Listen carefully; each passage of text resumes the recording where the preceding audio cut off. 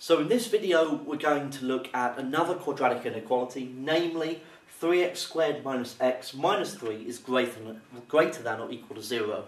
And the reason why I've picked this one is because it won't factorise. We're going to have to use the quadratic formula. Now remember the quadratic formula? I keep going on about it. x is equal to minus b plus or minus the square root of b squared minus 4ac all over 2a. And in this case, we have A is 3, B is minus 1, and C is minus 3. Okay?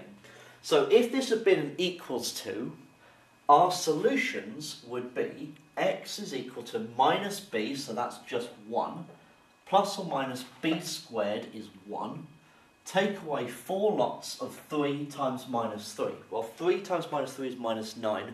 4 lots of minus 9 is minus 36. If we're taking away minus 36, then we're adding together, okay?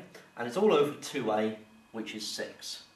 So this is equal to 1 plus or minus root 37 over 6, okay?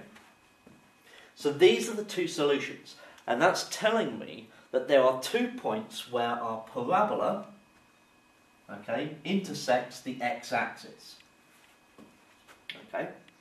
And that is at 1 minus root 37 over 6 and 1 plus root 37 over 6. So, I mean, you might, there might be one or two of you asking, uh, how did I know that they were that way round? Well, 1 take away root 37 over 6 is bound to be smaller than that one, okay? You know, you, I mean, you could, if you don't believe me, you could just plug them into a calculator, okay? But I assure you that's the right way around. Now, what it's asking for is where is this parabola above or equal to y equals 0? Where is it above the x-axis? And it's above it here, and it's above it here. Okay? Between these two points, it is below the x-axis. That's where the curve is, it's below the x-axis.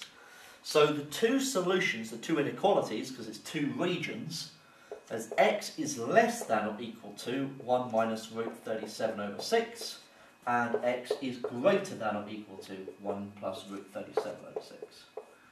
Okay? And they're the two solutions that we're looking for.